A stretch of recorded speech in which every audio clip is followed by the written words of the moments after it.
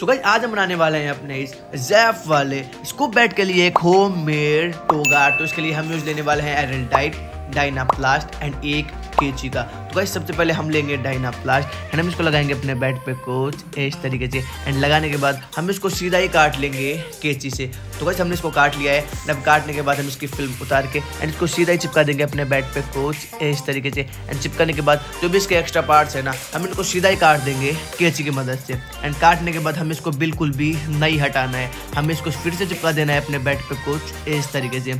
तो दोस्तों, हमने इसको चिपका दिया है एंड अब इस प्लास्ट को अच्छी तरह से इस पर लपेट देंगे। एंड इसके जो भी एक्स्ट्रा पार्ट्स है ना, हम इनको सीधा ही काट देंगे कटर की मदद से।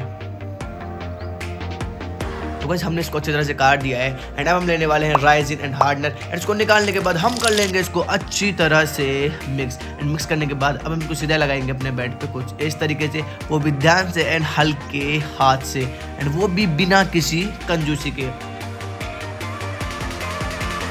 एंड अब इसमें जो भी एलडेट बचा है ना, हम इसको सीधे लगाएँगे अपने बेड के नीचे के साइड में, ताकि ये बन जाए एक पेस्ट टोगार्ड एंड अब इसको लेके चलते हैं गैस पे। एंड गैस पे गर्म करने के बाद हम इसको सीधा ही सुखा देंगे धूप में।